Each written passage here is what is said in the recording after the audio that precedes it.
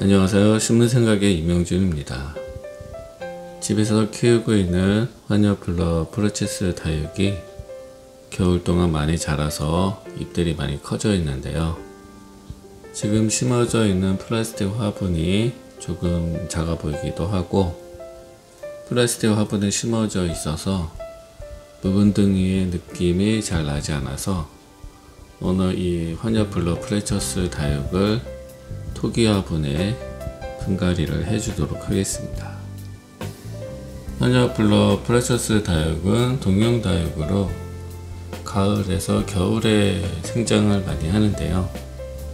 여름보다 이 작았던 자구가 좀 더 크게 자란 것 같습니다. 밑에 하엽 지는 잎들도 있기는 하지만 전체적으로 잘 자라주고 있어서 지금 토기 화분으로 분갈이를 해주도록 하겠습니다.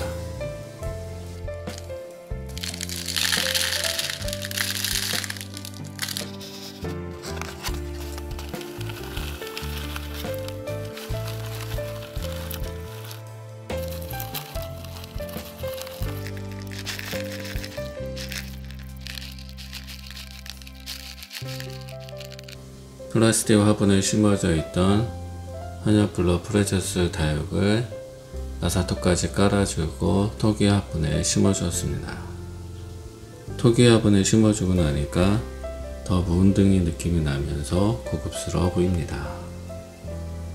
뿌리가 흙에 잘 활착될 수 있게 물을 충분히 준 다음에 햇볕이 잘 드는 반양지에 두며 잘 키우도록 하겠습니다.